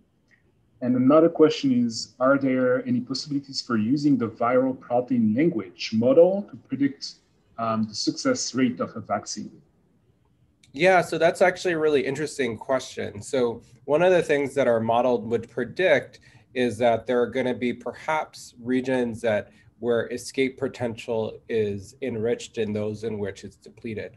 So if it were possible, let's say, to uh, focus our efforts in immunogen design to the regions that perhaps our model is going to predict as low likelihood of escape, maybe because it leads to structural collapse of the proteins such that, you know, their infectivity is lost or viability of the virus is lost. Um, that's what we think could be useful is that it could provide an supplemental information to like what the structural biologists do, which is like really great, which is essential information. We think that these approaches could also help supplement and put some you know, as opposed to thinking just exclusively about amino acids in the protein, um, really put some kind of ranked ordering of which amino acids may be the most, I guess, stable from a language perspective. Thank you so much for these answers. Um, we have questions here for Onye from Zuri Sullivan. Did you observe other antibody isotypes to alpha-gal following sensitization with alpha-gal plus tick salivary extracts? Great, that's a fantastic question. So actually, um, humans make antibodies against alpha-gal that are non-IgE isotypes. So they make IgM and IgG and IgA. And the thought is, you know, if you remember back to Dr. Williams' talk, there are a lot of organisms that live in our gut and they have carbohydrates on their surface. And so the thought is that we produce some of these anti-gal antibodies because it's in response to some of the microbes living in the gut. Um, and so with our tick salivary gland extract, we do see some IgG um, isotypes. So IgG1 is like the cognate isotype in mice that comes before IgE usually. Um, but we also see the IgE as well. Great. Another question here from Paula Cavatas. Can ticks that cause Lyme disease also sensitize? Ah, that's a great question too. So the tick um, that's responsible for or that transmits Lyme disease is the deer tick, um, Ixodes scapularis. And so to date, there's no, there have been no reports that people who get bites from deer ticks or from Ixodes scapularis are sensitized to alpha-gal. However, um, my colleagues Scott Cumming and Shailesh Chowdhury at UNC actually got tick salivary gland extract from our collaborator Shahid Karim um, from Ixodes scapularis, and they could detect alpha-gal sugar in the tick sal salivary gland extract of that tick. And when they took basophils in that indirect basophil assay that I talked to you guys about before and stimulated them with the, the Ixodes scapularis tick salivary gland extract, they could activate the basophils. So it seems to suggest that maybe there's alpha-gal in there. So I'm not entirely sure why it is that we haven't had reports of this Ixodes scapularis um, triggering sensitization to alpha-gal. So it's a fantastic question. Great. And from Victor, Victoire Boula, could you comment on the finding that helminth infections have been shown to reduce the prevalence of allergies and how this differs in the case of tick bites and alpha-gal syndrome? Also a great question. I'd like to explore that further with mouse models in the lab. But yes, so um, when we think about helminth infection, we're often thinking about uh, GI helminth infections or worm infections. And it turns out that even though worm infections induce really dramatic um, type 2 IgE dominated immune responses, they also happen to stimulate pretty robust regulatory uh, immune responses as well. So regulatory T cells, I think there are also regulatory macrophages. And it turns out that this regulatory response, which is often dominated by production of regulatory cytokines like IL-10, will suppress the generation of allergic immune responses. And so there are lots, um, there's descriptions um, of individuals in, say, developing countries where worm infections are endemic, where you see a lower frequency of people with food allergy. And there are lots of mouse models. In fact, my mentor, Catherine Nagler at University of Chicago, had a mouse model of peanut allergy. And if you pre-infected these mice with helminth infection, then you could actually reduce the peanut allergic response in these mice. Now, in the case of alpha-gal syndrome, instead of having an internal or endogenous parasite like you have with worm infection, you now have an external or ectoparasite. And so I'm, you know, I'm not sure whether it's the location of where the parasite is attaching. Maybe that's um, driving the development of other immune system cells and maybe not upregulating regulatory cells to the same extent as what you see with endogenous helminth infection. But I would love to do like a co-infection model where we've got helminth infected mice and then we put the parasites on top of them and see whether or not we have increases or blunted sensitization to alpha-gal. So fantastic question. I have to do the experiment and keep you posted. Fantastic. And uh, now the question is, what changes occur in immune, uh, in immune function following Lone Star type tick bite? What is pushing this response to enhance sensitization and is it Th2 driven? Yes, so it, it appears that when um, ticks bite or Lone Star ticks bite, they um, so I am not as familiar with all of the mechanics of what goes on at the tick bite itself, tick bite itself at the skin, but it does attract basophils to the site of the tick bite. And there's some sort of interaction. The thought is that the trauma of the tick bite is inducing some sort of epithelial barrier defense response at the skin. And so you have the production possibly of um, um, not exactly Th2 cytokines, but type 2 skewing cytokines that can be produced by epithelial cells. So like IL-33, IL-25, TSLP, um, and that this kind of cytokine milieu is what then pushes the um, the, the T cells that hang out basically in the skin um, towards a more Th2 type response. Um, so yeah, there's definitely evidence that basophils are attracted to sites of tick bites. I don't know yet if we have any evidence showing the production of these IL-33, TSLP, IL-25 barrier cytokines, but that's the leading thought as to why it gets pushed to a, a type 2. Very interesting, thank you very much. Questions for Dr. Webb from Medina. Is there any chance of the beads activating other cells? Oh, so that's a really nice question. So we tailor the beads so that it, that they are specific for NKT cells, um, but we can make other beads that can activate other immune type cells. So the ones that we're using specifically only activate NKT cells. I guess I'm going to follow up on that. What about macrophages and dendritic cells that can, you know, pick up these these beads and maybe non-specifically have uh, some sort of reactions? So actually, that is a really great point. So the beads have an antigen on them to activate NKT cells, but if you pulse cells um, from the blood, so peripheral blood mononuclear cells, with that have NKT cells in there. So if you use this, you can see the beads within the antigen presenting cells. So macrophages do eat the beads and it looks really interesting. Um, and then they can present that antigen to NKT cells. So again, the overall effect is that NKT cells become activated. But there's a really nice study uh, published a while back, like a 99 uh, cutting edge AI paper, that showed once NKT cells are activated in vivo, then you get subsequent activation of natural killer cells. Um, dendritic cells will upregulate costimulatory molecules. You'll get activation of classic T cell subsets. So we do think that NKT cells are the drivers and can modulate both um, the innate and adaptive arms because they make both Th1, Th2, and Th17 type cytokines. So thanks so much. And another question from Caleb Wilson, does your system function most effectively against liquid or solid tumors? So that's a great question. And if you look at the data that we showed, we weren't sure if we should focus on uh, blood cancers or hematological malignancies or solid. So we picked lymphoma and breast. Sorry.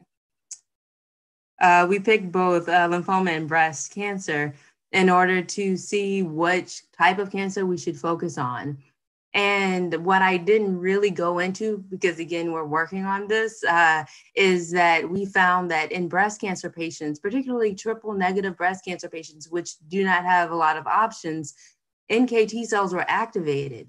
However, um, so suggesting that we could move forward with our NKT cell based therapy in that realm. However, in lymphoma patients, we found a significant reduction in NKT cell function. And it seems to correlate with a relapse, which is very, very striking.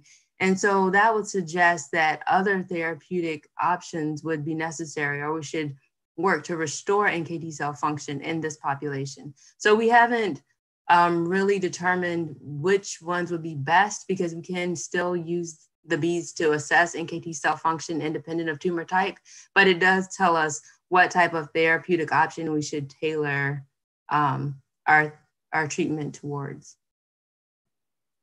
Thanks. Thank you very much. I have here questions for Asher Williams from Denise McAfee Bay. Do you think conjugating a virus with recombinant antibody against cancer is, would be a successful feat, or there would be a neutralization? Hmm. Um, that's an interesting question. Maybe a, a bit outside of the scope of what I've done, but um, I know Probably the reach some COVID, you know. Uh, yeah, I figure I figure there's there's a um, trying to make a connection there. Um, I mean, I know antibodies can decrease uh, the replication of viruses by blocking attachment to the host cell. Um, so I guess there could be some mechanism there to prevent penetration of the, the host cell membrane or interfere with um, the uncoating of the virus within the cell. But in terms of conjugating, um, I'm not really sure, honestly, um, if there would be a neutralization reaction just even with attempting conjugation. Um, but it would be something to look into for sure. All right. Thank you very much for responding all these questions. We're going to move to the, the, more panel discussion section of our um, session. And I'll start by basically putting science aside for a moment and, and share about you know the activities that you do when you're not doing all these amazing things that you just told us about. So well, what, what are your things? Uh, tell me. Uh, let's start with, uh, with Tonya.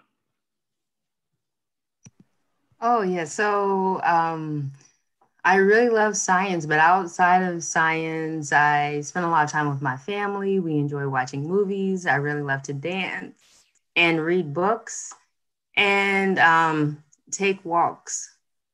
Especially now during this time during the pandemic, we've been able to get out and just walk around and uh, enjoy nature. That's fantastic. What about you, Onyi? What's your thing? I, I heard that you're a singer. I'm not singing, guys. But yeah, I do enjoy singing. I do enjoy singing with my church choir. Um, and I feel like as Dr. Webb was speaking, I'm like, yeah, I like that too. I like enjoying time with my family, watching movies. I like actually doing high intensity interval training. So I don't know if you guys noticed, but I had a picture of Shaun T. He's like a celebrity trainer that has really popularized that. So I love doing workouts with him. Um, and then running, um, dancing, just generally hanging out, reading as well. Yeah, it seems like all of this contribute to you know staying sane and and um, yeah. What about you, Bryan? What do you do? Um, I uh, so I, I, guess I have like two main hobbies. One of them is making ice cream. So um, when we were kids, Ooh only way that we could actually have ice cream as kids is if we like turned the crank on the ice cream maker ourselves. I'm dating myself. Um, and uh, that's uh, that's a hobby that has stayed with me. And then to balance out the ice cream making, I do a lot of running as well. Nice. And uh, Asher, would you share with your about your hobbies? Um, so I've been doing a lot of cooking since you can't really buy out, and then we're at home um, and also working out. I'm typically a gym rat, but now that we have to wear masks to the gym, I've hopped on the home workout train. Um, so yeah, those are kind of my two things. Great. Yeah, it's good to hear uh, this. I, I, think there is this narrative that um, fantastic scientists and successful scientists like all of you, you know, are only in the lab and only focusing on the lab and, you know, do not do anything outside of the lab. And I, I think, you know, we, need to definitely communicate on that. No, that, that's not, that's not it. That Actually doing things outside of the lab contribute to being successful in science because it helps to balance and, and to keep, to keep focusing, to go back to the lab and, and, and do more interesting science. Um, thank you for sharing these.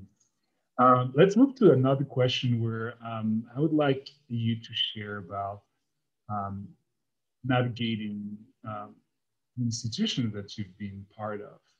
Um, you've been all part of very, you know, prestigious research institutions in the US. And uh, can you share about tips that help to navigate and, and that help to, you know, what was the, the thing that helped you to put your foot in the door? So um, for me, I think a lot of the spaces that I've been in, I've been one of a few Black people or the only Black person. But I found it very helpful, especially during graduate school, to sort of find community, even people outside of my department, just other people on campus who have a similar cultural background.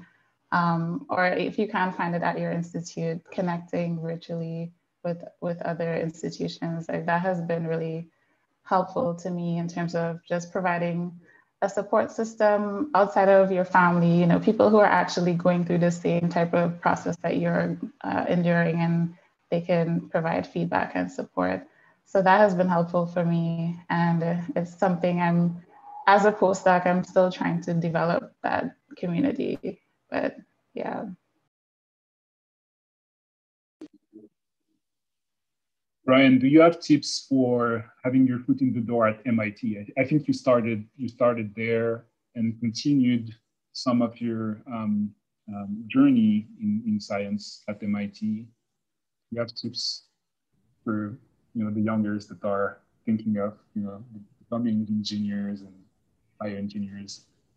Yeah, so you know, um, a few things you know eh, i think it's important i think as i think about getting the door getting a foot in the door at mit it helps to understand kind of the intellectual ethos of the place and understand like how you can bring something you know like i you know i was told to never like life advice i got from my mother is you never show up to a party open hand like empty handed and like even showing up to academia you want to know you want to be able to communicate what you bring to the party and you know so what we you know what i what i love about my colleagues and you know everybody might have something different to answer is that they bring a sense of curiosity a sense of energy and a sense of like determination like i want to contribute to this problem.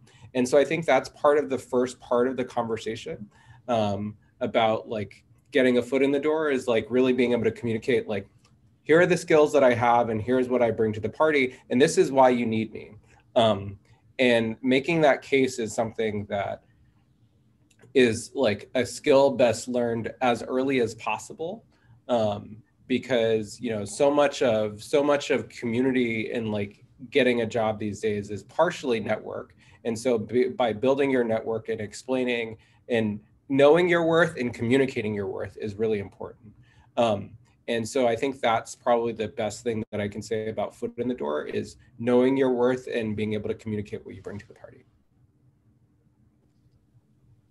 Onya, is that something that resonates with, with your? Uh...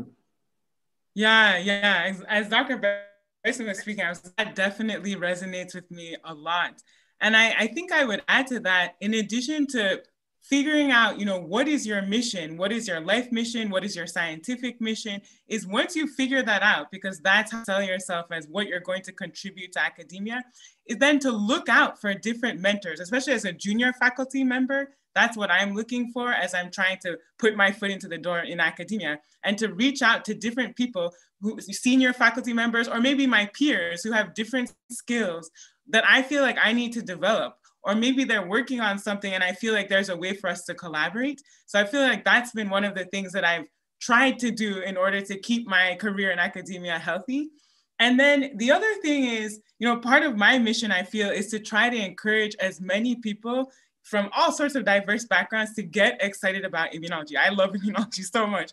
And so having that as like a driver um, has also made my path or my, the beginnings of my path with a career in academia exciting because I'm trying to look out for people, you know, undergrads, other graduate students, other postdocs, and figure out how can I share with them some of the tips and pointers that have helped me and then see them grow and hopefully like surpass me and solve the problem of all food allergies, you know, or, or something. So that's kind of where what moves me in academia.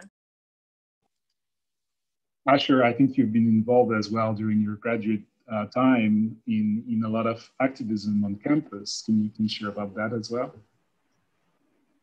Yeah, so like I said, I think that came from just feeling like we wanted to foster a greater sense of community on campus. And so we um, developed the, the Black Graduate Student Association and uh, tried to bring people together across campus for events and professional development and networking um, events as well.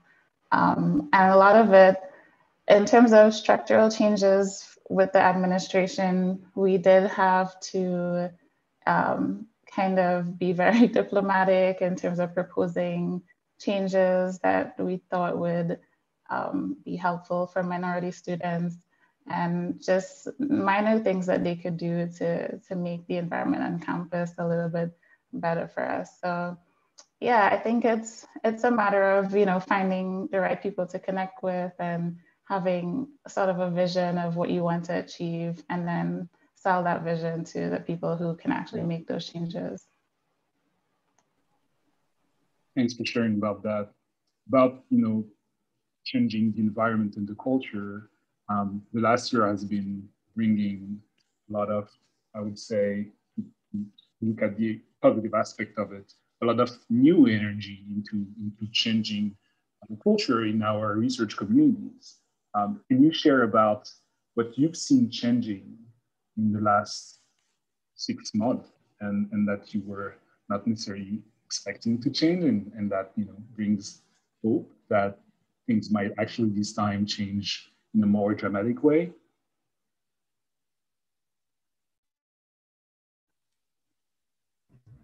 I guess I can start. Um, you know, there are things, there are many things that bring me hope. Um, one is the willingness to have the conversation. Like a lot of people, and have the conversation with all kinds of folks, because like um, many of us on the screen might have been having these conversations with people who look like us our whole lives. Let's be real. Um, and you know i'm glad that like other people are like participating in the conversation listening taking notes doing the extra work that they need to do to like learn the history and learn all of the uh, experiences um, of others by reading and doing the doing the research just as they would if they were researching kind of their own kind of academic interests.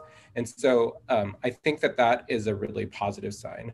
I think the commitment to transparency about like how things, how decisions are made is really also important um, in terms of, okay, what what is our what do our hiring practices look like? What do our graduate admissions practices look like? What are what are all of our practices and how do we make those make sure that we're not missing people um, in the construction of our our process? Because like history shows us right? If you don't write people into the process you have to correct you have to correct it at a later date. And so if we are thinking about kind of a new academic constitution so to speak everybody needs to be at the table to do that. So we don't have to then do 17 different amendments to actually be able to like actually get to closer to equity. And we see what that looks like right now. Like we're still not there as a country. So we need people at the table and listening uh, and understanding what everybody needs to be able to move things forward more equitably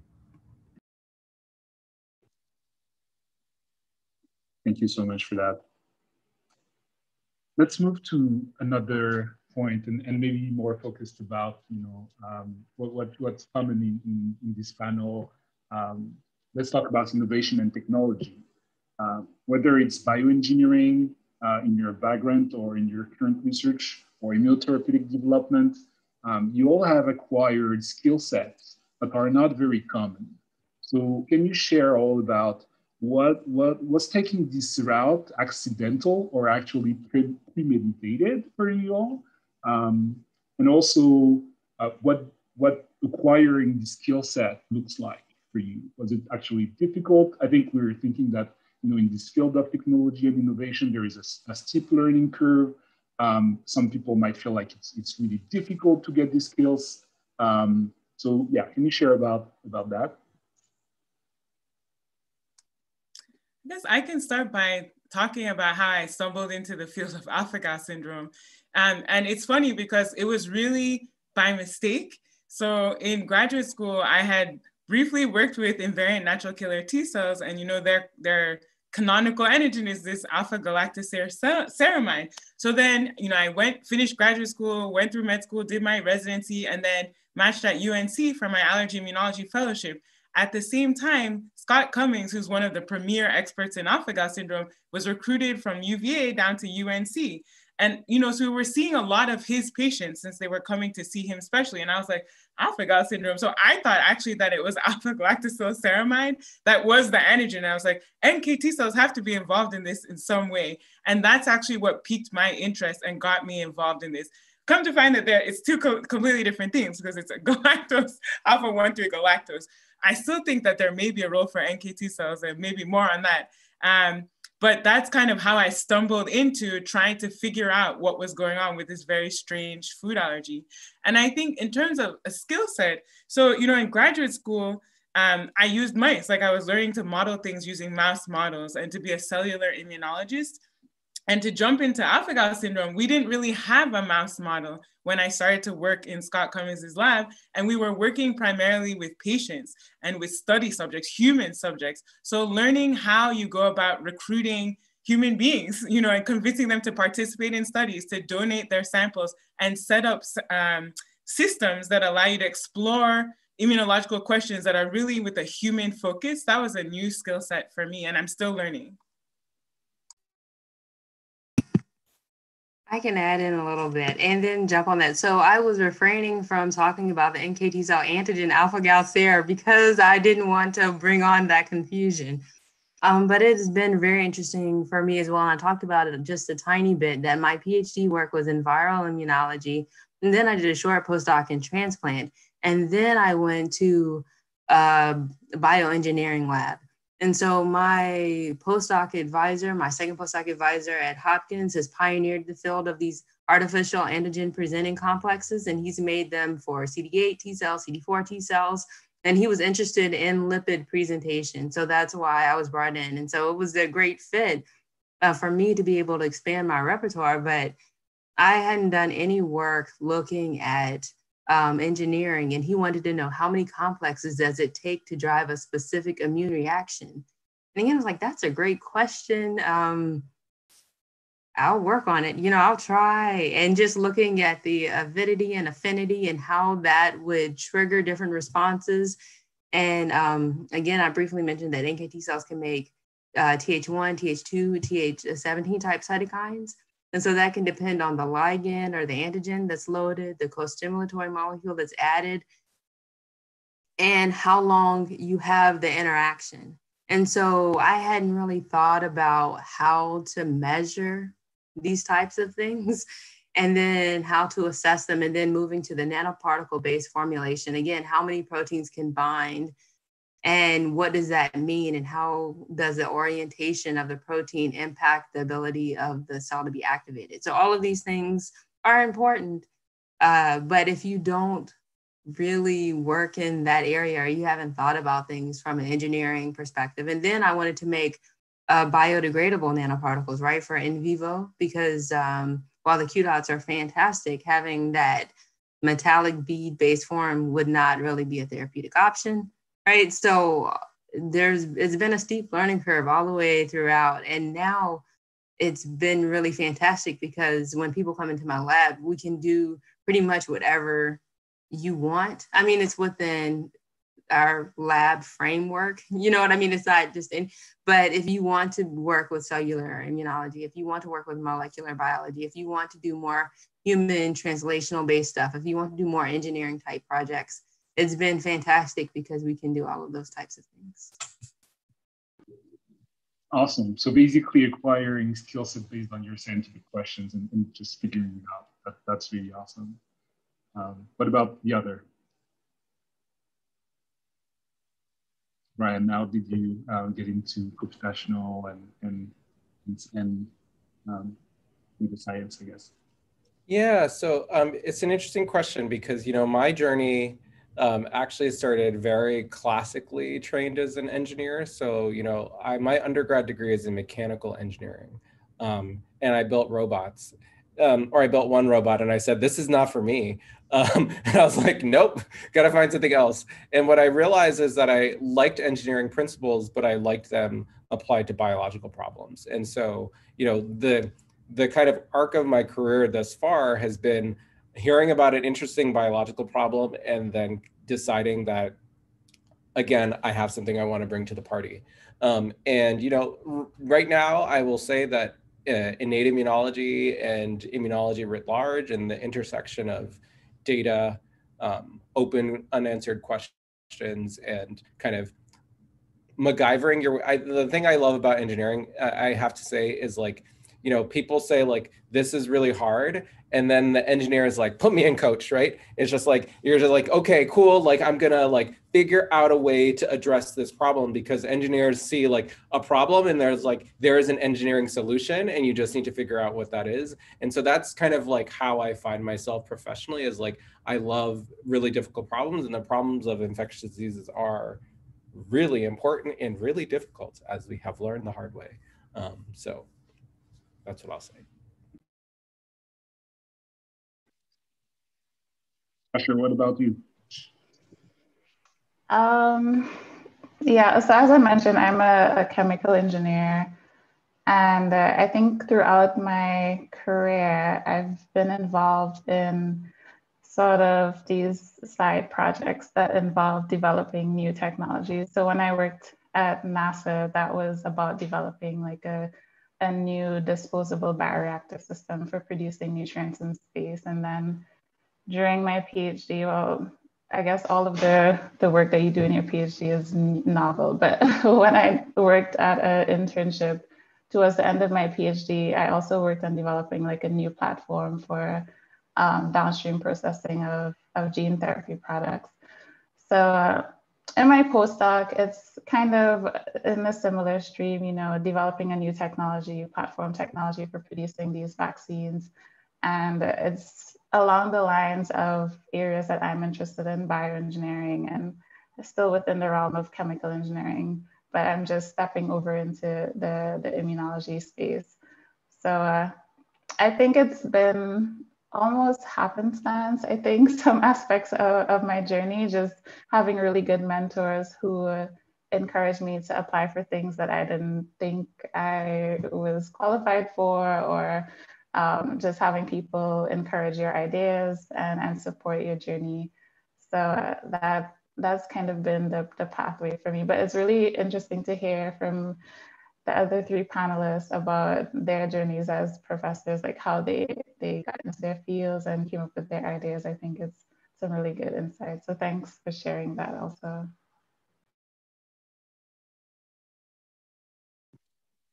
Yeah, some of you in the room are developing new therapeutic strategies that are, um, you know, that might be difficult to be accepted as, as um, on the market. And you mentioned, Tonya, that the metallic beads are not going to fly um, if we want to put them in humans. And, and so all these new approaches, even the cell-free um, bio um, uh, all these new approaches are difficult to be um, translated into a treatment that goes on, on, the, on the market. And, and, we're seeing a discussion going on with um, vaccines development uh, for COVID, for example, that have you know different um, characteristics. Can you, can you share a little bit about you know um, uh, going about these new approaches that are going to make these treatments more um, that are going to make these treatments better, but at the same time, the market might be it might be difficult to put them on the market and, and to make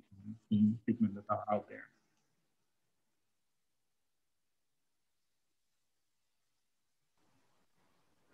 Sorry, I wasn't sure if that was a question directed at me or was it for the entire panel? for everyone. Yeah, for everyone.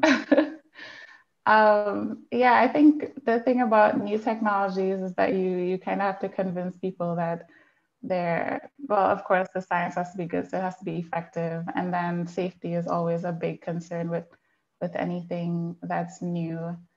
Um, so I think it's it's a matter of educating the public just so that they can understand maybe like the mechanism or or what this um, this new drug is actually going to do to their system. And I think once you have that understanding, it kind of eliminates some of the, the aspects of fear that people tend to have around new technologies. Yeah, I would agree with that. And in the case of alpha-gal syndrome, so one of the biggest questions is, you know, how can we deal with this? We can do something to change the host, but, or we can actually do something to change the food, you know, that the, the alpha-gal allergic person is eating.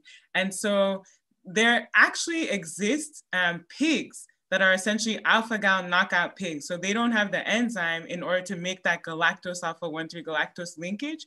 And so they were created uh, maybe a couple of decades ago with the thought that they could provide organs, you know, for transplant um, individuals to not reject their transplanted, xenotransplanted organs. Now people are resurrecting them and thinking about them as a possible alpha-gal safe food source.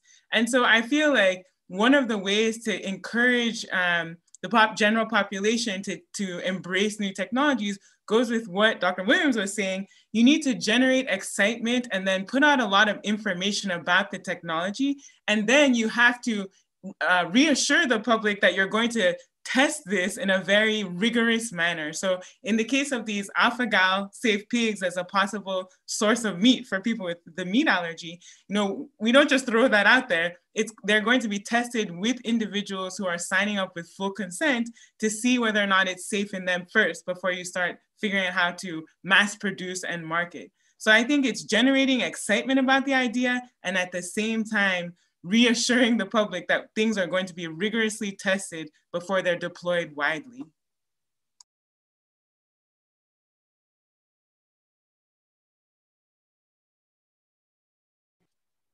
what about you? You you have uh, created the biotech that is developing uh, immunotherapeutic strategies. Um, what what are the difficulties that that you find on this route?